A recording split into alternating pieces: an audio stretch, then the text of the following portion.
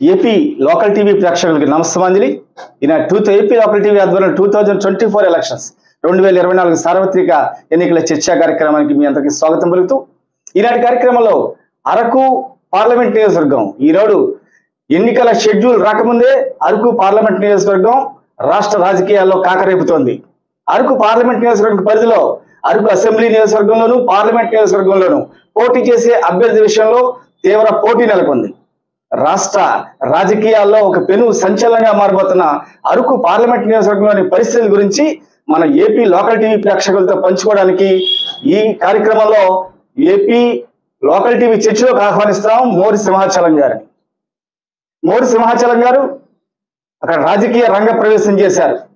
రంగ ప్రవేశం చెప్పి వైఎస్ఆర్ కాంగ్రెస్ పార్టీ తరపున తొలిసారిగా ఎమ్మెల్యేగా కానీ ఎంపీగా కానీ పోటీ చేసేందుకు ఆయన ఉబిళ్ళూరుతున్నారు వారిని అడిగి రాజకీయ రంగ ప్రవేశం గురించి ఆయన ఎమ్మెల్యేగా ఎంపీగా పోటీ చేయడానికి ఎందుకు ముందుకు వచ్చారో అడిగి తెలుసుకుందాం. నమస్కారం అండి మూడు సమాచారం గారు. నమస్కారం సార్. ముందుగా AP local channel political news వారికి నన్ను ఈరోజు స్టూడియోలో ఆహ్వానించినందుకు హృదయపూర్వక ధన్యవాదాలు.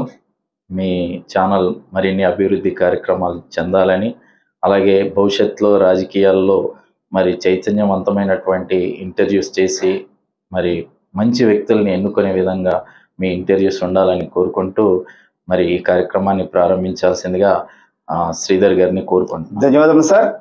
మోరి సింహాచలం గారు అంటే ఏఎస్ఆర్ పాడేరు జిల్లాలో అరకు పార్లమెంట్ నియోజకవర్గ పరిధిలో ఇప్పటివరకు కూడా ఒక ఉపాధ్యాయుడిగా ఒక గిరిజన నాయకుడిగా ఒక సమాజ సేవకుడిగా ప్రజలు చూశారు. మరి అటువంటి మీరు అసలు రాజకీయ రంగ ప్రవేశం చేయాలని ఎందుకు అనుకుంటున్నారు? ఇప్పుడున్నటువంటి పరిస్థితుల్లో మన ఏజెన్సీలో ఉన్నటువంటి పరిస్థితి ఏంటంటే రాజకీయాలు చాలామంది ఉన్నారు. కానీ రకరకాల సిచ్యువేషన్స్లో రకరకాల దీంట్లో పార్టీలకి పరిస్థితులకు అనుగుణంగా ఈరోజు మా చట్టాలు కానీ మా యొక్క పరిస్థితులు కానీ జీవన విధానం కానీ అర్థం చేసుకొని సరిగా నడిపే పరిస్థితి లేదు. కాబట్టి ఒక మంచి వ్యక్తి రాజకీయాల్లో రావాలని నన్ను చాలామంది ఉద్యోగ వర్గము అలాగే సామాజిక వర్గం యువకులు కోరుకోవడంతో ఈ యొక్క ఆలోచన చేసి ముందుకు రావడం జరిగింది. అంటే మీరు పూర్తిగా రాజకీయాల్లో ఉండాలనుకుంటున్నారా? లేదా ఉపాధ్యాయుడిగా రాజకీయాలుగా రెండు రంగాలను కొనసాగాలనుకుంటున్నారా? అంటే రాబోయే రోజుల్లో ఫుల్ టైం రాజకీయాలు చేయాలనేది నా యొక్క ఆశ అండి కోరిక లక్ష్యం. ఓకే. ఇప్పుడు మీరు గిరిజాగృతి అసోసియేషన్ అనే సంస్థను పెట్టి మన ఆ పార్లమెంట్ నియోజకవర్గ పరిధిలో చాలా కార్యక్రమాలు చేస్తున్నారు కొద్ది కొద్ది కాలంగా. అసలు గిరిజాగృతి అనే సంస్థను ఎందుకు స్థాపించారు? దీని ద్వారా ఏ కార్యక్రమాలు చేస్తున్నారు? గిరిజాగృతి అనేది మా ప్రాంతంలో ఉన్నటువంటి ప్రజల్ని ముందు జాగృతం చేయాలన్న ఉద్దేశంతో ఆ సొసైటీని స్టార్ట్ చేశాము. ఆ ఉద్దేశంతో ముందు మేము ఎన్నుకున్నటువంటి కార్యక్రమం కోవిడ్ టైంలో రెండు వేల మందికి మరి నిత్యావసర సరుకులు కష్టకాలంలో కూడా అందించాం. మెడికల్ సంబంధించిన సేవా కార్యక్రమాలు చేశాం. ఒక పదివేల రగ్గులు మా ఏరియాలో ఎక్కువగా చలికి ఇబ్బంది పడుతుంటారు. అటువంటి టైంలో పదివేల మందికి రగ్గులు ఇచ్చాము. అది కాకుండా మెయిన్ ఎక్కువ టీచర్స్ పోటీ పడుతుంటారు. టెట్ తర్వాత కాంపిటేటివ్ ఎగ్జామ్స్లో టీచర్స్ ఎగ్జామ్స్కి సంబంధించి మెటీరియల్ ఒక పదకొండు రకాల బుక్స్ మేము ప్రతి క్యాండిడేట్కి వెయ్యి మందికి అందించాము. అలాగే గ్రూప్ వన్ గ్రూప్ టూ మరి ప్రిపేర్ అయ్యే మా ఏరియాలో ఉన్నటువంటి నిరుద్యోగులకి సిలబస్ కొనుక్క బుక్స్ కొనుక్కోవాలన్నా చాలా కష్టం కోచింగ్ తీసుకోవాలన్నా చాలా కష్టం. అలాంటి వాళ్ళందరినీ ఏదో ఒక రూపన్న ముందు మనవంతు సహాయం చేయాలని చెప్పి వాళ్ళకి మా మా ఏరియాలో ఉన్నటువంటి ఐఏఎస్ అలాగే ఐపీఎస్ తర్వాత గ్రూప్ వన్ ఆఫీసర్లను తీసుకెళ్ళి కెరీర్ గైడెన్స్ క్లాసులు పెట్టి మేము ఇంతవరకు మరి పదిహేను వందల మందికి ఈరోజు గత ఐదు సంవత్సరాలుగా కంటిన్యూగా మేము మెటీరియల్ ఇవ్వడం అందులో ఇద్దరు విద్యార్థులు మేము తీసుకున్న మెటీరియల్ గ్రూప్స్లో సెలెక్ట్ అవ్వడం గ్రూప్ టూలో నలుగురు సెలెక్ట్ అవ్వడం నాకు చాలా సంతోషం. అలాగే టెట్లో చాలామంది విద్యార్థులు పాస్ అయ్యే వాళ్ళు ఇప్పటికీ నాకు చెప్తుంటారు డిఎస్సిలో చాలామంది సెలెక్ట్ అయ్యారు. అది ఒక హ్యాపీగా భావిస్తున్నాం. అదే గిరిజాగృతి ఈ సేవా కార్యక్రమాలతో పాటు ముఖ్యంగా మా ప్రాంతంలో ఉన్నటువంటి సమస్యలపై అనేక సమస్యలు ఈరోజు మెడికల్ కాలేజ్ రావడానికి మరి కేంద్రంలో ఉన్నటువంటి మంత్రులందరికీ మా సంస్థ తరపున మెమోరాండం ఇవ్వడం అలాగే జీవో నెంబర్ త్రీ కొట్టివేసినప్పుడు మొట్టమొదటిసారిగా స్పందించి గిరిజాగృతి లెటరేడ్ మీద మరి గవర్నర్ గారికి మెమోరాండం ఇవ్వడం అలాగే మా ప్రాంతంలో అనేక సేవా కార్యక్రమాలు ఉద్యమాలు అనేక కార్యక్రమాలను చేసి గిరిజనుల్ని చైతన్యం చేసి ముందుకెళ్ళాలనే ఉద్దేశంతో గిరిజాగృతి ట్రస్ట్ అనే సేవా కార్య అసోసియేషన్ అని ప్రారంభించడం జరిగింది. ఇప్పుడు సింహాచలం గారు జీవో నెంబర్ మూడు ని రద్దు చేసినప్పుడు ఏ ప్రభుత్వం అయితే ఉందో అదే ప్రభుత్వం అదే ప్రజాప్రతినిధులు ఇప్పుడు ప్రస్తుతం కూడా కొనసాగుతా ఉన్నారు. గిరిజనుల యొక్క ఆశయాలకి విరుద్ధంగా ఉన్నటువంటి జీవ నెంబర్ మూడుని కొట్టివేసిన సందర్భంలో ఇప్పుడున్నటువంటి ప్రజాప్రతినిధులు మీరు జాయిన్ అవ్వాలనుకున్న పార్టీలోని ప్రజాప్రతినిధులు మరి ఆ జీవ నెంబర్ మూడుకి వ్యతిరేకంగా ఎందుకు ఉద్యమాల్లోకి రాలేకపోతున్నారు? పార్టీ పరిస్థితులు పార్టీ ప్రోటోకాల్స్ పెద్దల యొక్క పరిస్థితి అనుగుణంగా వాళ్ళు నడుచుకోవాలనే ఉద్దేశంతో వాళ్ళు ముందుకు రాలేకపోతున్నారు. కానీ ముఖ్యమంత్రి గారికి సరిగా ప్రజెంట్ చేస్తుంటే బాగుంటుందమ్మో అనేది నాకు అనిపించింది. మా ఎమ్మెల్యేలు ఇంతవరకు ఉన్నటువంటి ఎమ్మెల్యేలు కానీ ఎంపీలు కానీ ఇది చాలా సీరియస్ ఇష్యూ అండి. గిరిజనులకి చాలా ఉపయోగపడే విషయం గుండెకాయ వంటిది. ఎంతోమంది నిరుద్యోగులకి ఉపాధి కల్పించింది ఉద్యోగాలు కల్పించింది. తర్వాత ఎంతో మందికి నిరుద్యోగ సమస్య తీర్చింది. ఇప్పుడు రాబోయే రోజుల్లో జీవో నెంబర్ త్రీ తీసేస్తే గిరిజనులకు ఉద్యోగాలే లేకుండా పోతుందనే విషయాన్ని మా ముఖ్యమంత్రి గారి దృష్టికి తీసుకెళ్ళలేనటువంటి పరిస్థితి మా నాయకులు ఉండారు. దానికి ప్రజా ఉద్యమం ద్వారానే నడుస్తుంది. అది మరి పార్టీ పెద్దలతో మనలాంటి వాళ్ళు వెళ్ళి ఉంటే ఈరోజు ఒప్పించే వాళ్ళమేమో అని భావిస్తున్నాను. ఓకే. సింహాచలం గారు వీరు గిరిజాభివృద్ధి ద్వారా చేసినటువంటి అనేక సేవా కార్యక్రమాలు ఈరోజు ఎప్పటికీ కూడా అరకు నియోజకవర్గంలో చెప్పుకుంటూ ఉంటారు. ఈరోజు అరకు వచ్చినటువంటి హైవే ఏదైతే శాంక్షన్ అయిందో మంజూరైందో ఆ హైవే హైక్ రావడం వెనక కూడా గిరిజాగృతి అసోసియేషన్లో మీ హస్తం ఉన్నది మీరు ఇచ్చిన రిప్రజెంటేషన్ ఫలితంగా అని చెప్పుకుంటారు. ఎంతవరకు నిజమండి? నిజమే సార్. ఈరోజు మా ఏరియాలో ఉన్నటువంటి ఇప్పుడు హైవే కన తయారవుతుంది.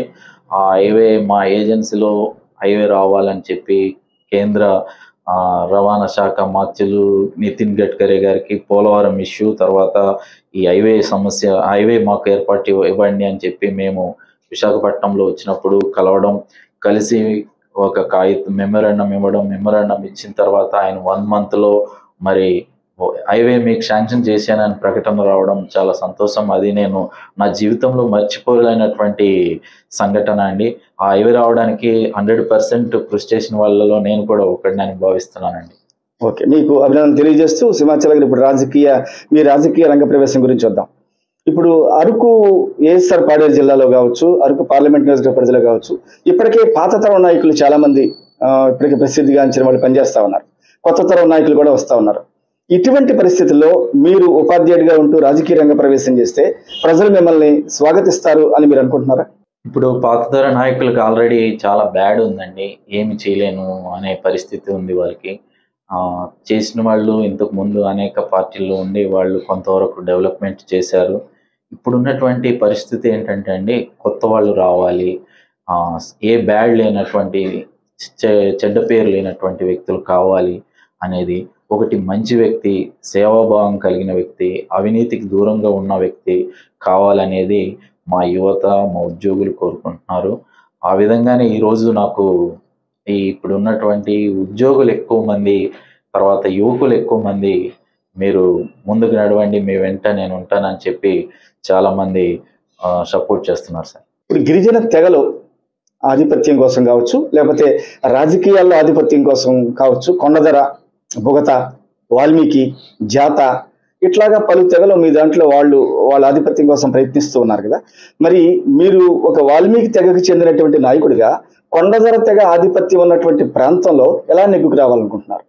అరకు అనేది సుమారు నాలుగు సార్లు ఎలిబి దుక్కు గారు ఎమ్మెల్యే అయ్యారండి వాల్మీకి సామాజిక వర్గం. కిడారి సర్వేశ్వరరావు గారు ఎమ్మెల్యే అయ్యారు ఆయన ఐదు సంవత్సరాలు.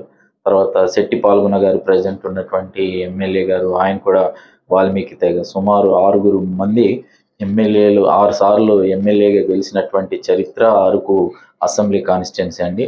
అయితే కొండదొర సామాజిక వర్గం పాపులేషన్ ఎక్కువ అంటున్న పరిస్థితుల్లో కొండదొర నుండి నలుగురు ఈరోజు అభ్యర్థులు ఉన్నారు. బరిలో ఉండబోతున్నారు బరిలో ఉన్నారు.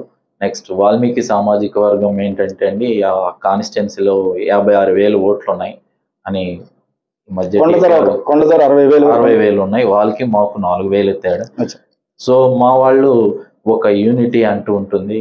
ప్రతి వాళ్ళు ఓటింగ్లో పాల్గొనడం జరుగుతుంది. తర్వాత బూత్ లెవెల్లో కూడా ఏ బూత్లో ఎలా ఉండాలి ఏంటనేది కూడా మాకు బాగా ఇది ఉంటుంది. తర్వాత అన్ని విధాలుగా ఈరోజు ఏజెన్సీలో లీడ్ చేస్తున్నటువంటి సంఘాల్లో కానీ పార్టీల్లో కానీ వాల్మీకి సామాజిక వర్గం చాలా చైతన్యవంతంగా ఉంటుంది సార్.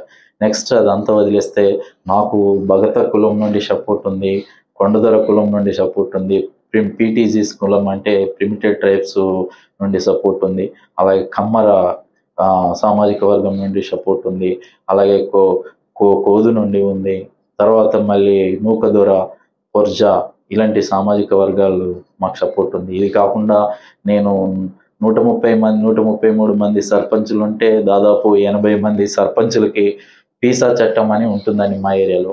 పంచాయతీ పంచాయతీరాజ్ యాక్ట్ సపరేట్గా ఉంటుంది ట్రైబల్ ఏరియాలో. వాళ్ళందరికీ మేము ట్రైనింగ్ ఇచ్చాం పీసా చట్టం మీద. వాళ్ళందరికీ సన్మానం చేశాను.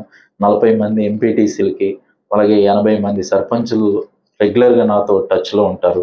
వాళ్ళకందరికీ పరిచయాలు ఉంది టచ్లో ఉన్నారు. వాళ్ళందరూ నేను ఒక వాట్సాప్ గ్రూప్ క్రియేట్ చేసి రెగ్యులర్గా మన కార్యక్రమాలన్నీ వాళ్ళకి తెలియజేయడం వాళ్ళు మీలాంటి మంచి వ్యక్తి రావాలి అని చెప్పి చెప్పడం అన్ని వర్గాల వాళ్ళు మనకు సపోర్ట్ ఉండడం అది ఒక మంచి ప్లస్ అండి. ఆధిపత్య పోరు ఉండేటువంటి కొండదల సామాజిక వర్గం వాల్మీకి సామాజిక వర్గం మధ్య మీరు ఒక వాల్మీకి తెగ నాయకుడిగా కొండదల సామాజిక వర్గంలో వాళ్ళని ఎట్లాగా ఆకర్షించగలిగారు? అంటే మనం చేసే కార్యక్రమాలే వాళ్ళు ఈరోజు ఆకర్షితులయ్యారు సార్. మనం చేసే కార్యక్రమాల ద్వారానే ఈరోజు ఈరోజు నలుగురున్నా ముగ్గురున్నా ఈరోజు మనకు టికెట్ వస్తే కళ్ళు మూసుకొని గెలిచే పరిస్థితి ఈరోజు ఉందండి. ఏ సామాజిక వర్గం వ్యక్తి పోటీ చేసినా సరే మనం ఈరోజు గెలవడానికి హండ్రెడ్ పర్సెంట్ ఛాన్స్ ఉంది మనకు. మనం అరకు పాడేరు నియోజకవర్గాల విషయానికి వస్తే అక్కడ ప్రాంత ప్రజలు ఏం చెబుతూ ఉంటారంటే అక్కడ ఉద్యోగులు ప్రధాన పాత్ర వహిస్తారు. గెలుపు ఓటములని ప్రభావితం చేయడంలో అభ్యర్థులకు ప్రభావితం చేయడంలో అని చెప్పేసి మరి ఈ ఉద్యోగ సంఘాల కార్యాచరణలో మీ పాత్ర ఏమిటి? మీ- మీకు ఎంతవరకు వాళ్ళు సహకరించే అవకాశం ఉంది? ఇప్పుడు ఉన్నటువంటి సుమారు ఆరు ఏడు నుంచి ఎనిమిది వేల మంది ఉద్యోగులు ఉన్నారండి.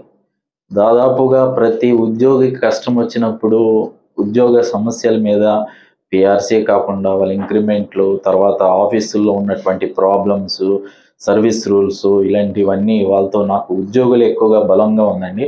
వాళ్ళ అన్ని యూనియన్స్ యూనియన్స్తో పని లేకుండా టీచర్స్ యూనియన్లు కావచ్చు అలాగే ట్రైబల్ ఎంప్లాయీస్ యూనియన్ కావచ్చు అలాగే ఎన్జిఓస్ కావచ్చు.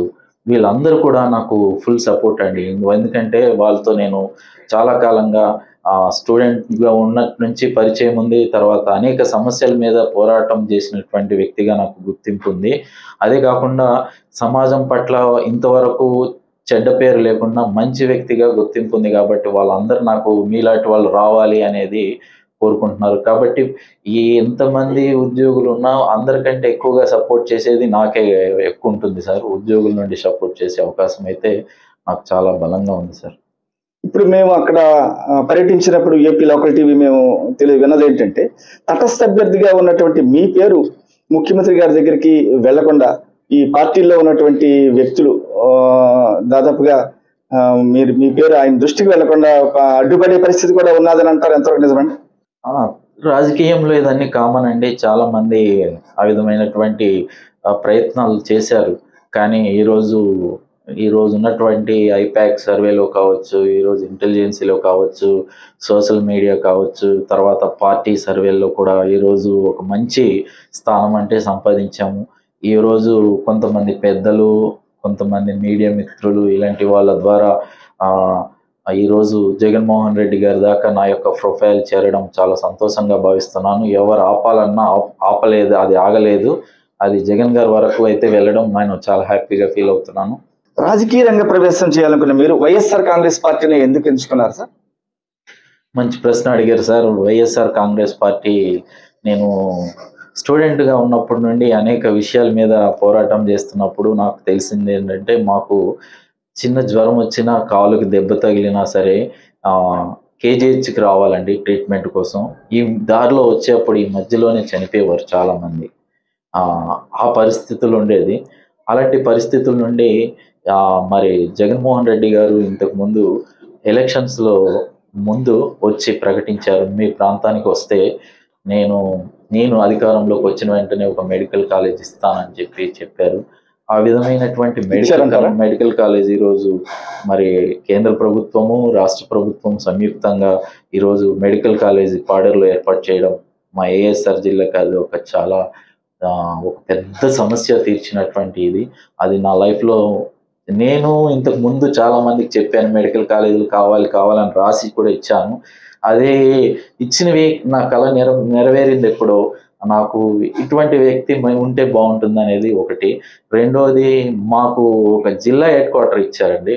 అది ఇంతకు ముందు కలెక్టర్ కలవాలంటే వైజాగ్ వచ్చి బస్సుల్లో వచ్చి కలవాలంటే కలెక్టర్ గారు ఉండొచ్చు లేకపోవచ్చు చాలా సమస్యలు ఉండేది ఈరోజు మాకు జిల్లా కలెక్టర్ గారు మాకు ఒక ఎస్పీ గారు ఉండటం వల్ల ఈరోజు జిల్లా హెడ్ క్వార్టర్ రావడం వల్ల చాలా హ్యాపీగా ఫీల్ అయ్యి ఇది ఒక మంచి కార్యక్రమంగా భావిస్తున్నాను ఇంకో విషయం ఏంటంటే అద్భుతమైన ఏ ముఖ్యమంత్రి చేయలేనటువంటి కార్యక్రమాలు రాష్ట్రంలో జగన్మోహన్ రెడ్డి గారు చేస్తున్నారండి వాస్తవంగా నాడు నేడు ప్రోగ్రామ్స్లో ఈరోజు విలేజ్ విలేజ్ పాఠశాలలు. విలేజ్ లెవెల్ హాస్పిటల్స్ కూడా నాడు నేడు పెట్టారు. అక్కడ కూడా మంచి డాక్టర్లు ఇచ్చారు. మారుమూల ప్రాంతంలో కూడా ఇంతకు ముందు డాక్టర్లు ఉన్నారు. కానీ ఇప్పుడు పటిష్టంగా ఉన్నటువంటి హాస్పిటల్స్లో చక్కగా చేశారు. ఈరోజు అరకులో వంద పడకల హాస్పిటల్ చేశారు. చింతపల్లిలో వంద పడకల హాస్పిటల్. పాడలో medical college. తర్వాత గిరిజన ప్రాంతంలో జగనన్న ఆరోగ్య సురక్ష పేరు మీద ఉన్నటువంటి రోగులకి వీళ్ళందరూ వాళ్ళ యొక్క బాధల్ని గుర్తించి ఈరోజు పెద్ద పెద్ద హాస్పిటల్స్కి ట్రీట్మెంట్ చేయించే పద్ధతి ఈరోజు ఉంది. అదే కాకుండా ఎనిమిక్ పేషెంట్లు ఎక్కువ మంది ఉంటారు సార్ మా ఏరియాలో. రక్తహీనత వా వాళ్ళకి ఈరోజు పదివేల రూపాయలు శాంక్షన్ చేసి పదివేల రూపాయలు ఇచ్చి మెడిసిన్స్ ఇచ్చి వాళ్ళకి ఫుడ్ ఇవన్నీ చేస్తున్నారు. అది కాకుండా మీరు ఇంటీరియర్ విలేజ్లో కూడా నాడు నేడు ప్రోగ్రామ్ స్కూల్స్లో చూస్తే ఆ బిల్డింగ్స్ బెంచీలు టీవీలు తర్వాత ఫుడ్లో కావచ్చు ఇన్ని సిస్టమ్స్ మార్చినటువంటి వ్యక్తి ముఖ్యమంత్రి జగన్మోహన్ రెడ్డి గారు. కాబట్టి ఈ పరిస్థితుల్లో నేను ఒక మంచి ఆలోచనతో మా ప్రాంతానికి అన్ని విధాలుగా ముందుకెళ్తుంది కాబట్టి వైసీపీలో వెళ్తే బాగుంటుందనే ఆలోచనతో నా ఫ్రెండ్స్ నా యొక్క అనుచరులు కొంతమంది మేధావుల యొక్క సజెషన్తో నేను ఈరోజు వైసీపీకి వెళ్ళడం అనేది జరిగింది సార్. ఓకే అభినందనలు సింహాచలం గారు. ఇప్పుడు అరకు అసెంబ్లీ నియోజకవర్గానికి సంబంధించి కొండదల సామాజిక వర్గాన్ని అన్ని పార్టీలు ఎంచుకున్నట్టుగా కనబడతా ఉంది. మరి పార్లమెంట్ నియోజకవర్గంకి వచ్చేటప్పటికి వాల్మీకి తెగకి ప్రాముఖ్యత ఇచ్చేటువంటి పరిస్థితులు ఉన్నాయనే విషయం స్పష్టమవుతోంది. మీరు అరకు అసెంబ్లీని అరకు పార్లమెంట్ని రెండిట్లో ఏ టికెట్ జగన్మోహన్ రెడ్డి గారు ఇచ్చినా నేను పోటీ చేస్తానని మీరు ముందుకు వచ్చారు అసలు మీరు ప్రధానంగా ఆ, ఎమ్మెల్యేగా కంటెస్ట్ చేయాలనుకుంటున్నారా ఎంపీగా పోటీ చేయాలని కోరుకుంటున్నారా? అంటే మా సామాజిక వర్గం పరంగా ఈ- నేను ఫస్ట్ అయితే ఎమ్మెల్యేగానే నేను అనుకున్నాను. ఆ విధంగానే ఈరోజు రెండు వందల మూడు బూతుల్లో గ్రౌండ్ వర్క్ చేసుకున్నాను. బూత్ లెవెల్లో ఇన్ఛార్జెస్ కూడా నేను నా ఓన్గా తయారు చేసుకున్నాను. ఒక మూడు వేల మంది కార్యకర్తలు యూత్ సపోర్టు వాళ్ళందరినీ తీసుకొని ఆ, ముందుకెళ్ళాలని చెప్పి అరకు అసెంబ్లీ పద్ధతిలో నేను ఆ అసెంబ్లీకే వెళ్తానన్న ఉద్దేశంతో గ్రౌండ్ వర్క్ అయితే చేసుకోవడం జరిగింది. కానీ మారుతున్న పరిస్థితులకు అనుగుణంగా మరి మా సామాజిక వర్గాన్ని ఏం చేయాలంటే ఎంపీగా చేయాలి. ఆ ఎంపీకి ఇస్తే బాగుంటుందనేది ఈరోజు పెద్ద టాక్ ఉంది. అది ఊహాగానాలు మరి నిజమో తెలియదు ఆ పరిస్థితుల్లో నాకు నేను కూడా ఇంతకు ముందు ఏబీవీపీలో పనిచేసినప్పుడు మరి మన స్టేట్ వైడ్గా ఉమ్మడి రాష్ట్రంలో రాష్ట్ర ఉపాధ్యక్షుడిగా అలాగే ఉత్తరాంధ్ర జిల్లాల ఇన్ఛార్జిగా ఈ విధంగా పనిచేసిన పరిచయం ఉంది. అలాగే ఉద్యోగిగా ఉపాధ్యాయుడిగా విజయనగరంలో చదువుకొని శ్రీకాకుళంలో పనిచేసి ఏబీపీలో పనిచేసిన అనుభవం ఉంది. ట్రంపచోడవరం ఏరియాలో టచ్ ఉంది కాబట్టి ఎక్కువ పరిచయాలు ఉన్న వ్యక్తుల్లో నేను కూడా ఒకడిని కాబట్టి ఎంపీగా కూడా నేను ఎలిజిబులే. ఆ విధంగా చూసినా సరే ఎలిజిబులే కాబట్టి ఆ ఎంపీగా వెళ్ళినా ఇంకా ప్రజలకు ఇంకా ఎక్కువ మందికి సేవ చేయవచ్చమ్మా అని చెప్పి నేను భావిస్తున్నాను సార్. సింహాచలం గారు అంటే అఖిల భారత విద్యార్థి పరిషత్ అని చెబుతారు ఉత్తరాంధ్ర ఆరు జిల్లాలో కూడా. ఏబీవీపీ నాయకుడిగా మీరు చాలా ప్రాచుర్యం పొందారు. సో మీ విద్యార్థి నాయకుడిగా మీకుండే అనుభవాన్ని ఈ రాజకీయాల్లో ఎలా సమన్వయం చేసుకోవాలనుకుంటున్నారు? అది మనకు ఒక ట్రైనింగ్ లాంటిది సార్. అది విద్యార్థి పరిషత్లో పనిచేయడము క్రమశిక్షణ ఒకటి లీడర్షిప్ ఎలా డెవలప్ చేయాలి అనేది బాగా తెలిసింది. అనేక మందితో పరిచయాలు ఎలా చేయాలనేది నాకు బాగా తెలిసింది. ఒక విద్యార్థి నాయకుడిగా ఉండి అనేక సేవా కార్యక్రమాలు చేశాను. ప్రీ కోచింగ్ క్లాసులు మీ తర్వాత పాలిటెక్నికల్ డైట్ ఇటువంటిది ఇచ్చాము. బ్లడ్ డొనేషన్ క్యాంపులు పెట్టాము. అలాగే తొంభై నాలుగులో లాఠీ చార్జ్కి తొంభై నాలుగు చలో హైదరాబాద్ ప్రోగ్రాంకి వెళ్ళి లాఠీ చార్జ్ తిన్నాము. తర్వాత మరుసటి రోజు టీచర్ పోస్టులు భర్తీ స్కాలర్షిప్స్ గురించి ఉద్యమాలు చేశాము. ఇన్ని చేసాము అదొక డిఫరెంట్ యాక్టివిటీ ఒక లీడర్గా ఎదగడానికి మంచి ట్రైనింగ్ అనుకొని భావిస్తాను. ఏబీవీపీ మంచి లైఫ్ ఇచ్చింది. నాకు మంచి సేవా కార్యక్రమం మంచి గుర్తింపు ఇచ్చింది.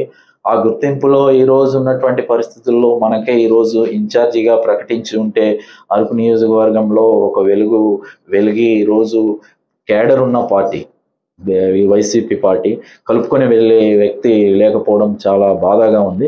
అదే పరిస్థితి మనకుంటే అది ఒక రకంగా ఉండేదిగా భావిస్తున్నాను. ఏబీపీ నాకు లైఫ్లో ఒక చేంజ్ చేసింది. అటువంటి సంస్థకు మనము ఎప్పుడు మర్చిపోలేము. కాబట్టి ఆ సంస్థ యొక్క ట్రైనింగ్ నాకు లీడర్గా ఎదగడానికి చాలా ఉపయోగపడింది సార్.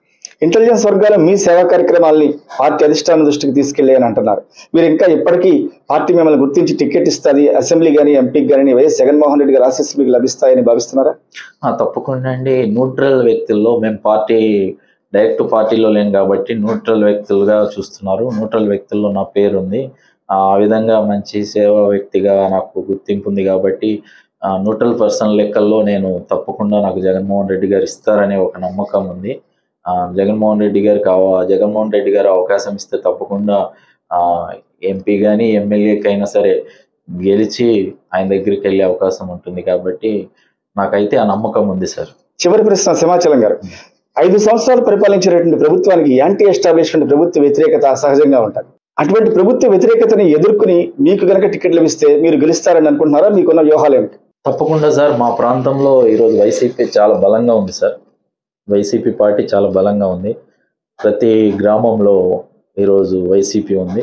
ఇప్పుడు కాదు ఇంతకు ముందు టీడీపీ గవర్నమెంట్ వచ్చినప్పుడు కూడా వైసీపీ అక్కడ గెలిచింది. ఇప్పుడు కూడా వైసీపీ క్యాడర్ ఉంది.